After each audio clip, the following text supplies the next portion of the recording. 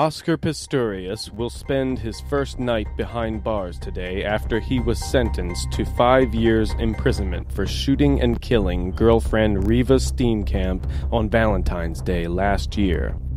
Use the link in the description for the full story and video. And don't forget to subscribe for the most interesting news on the web.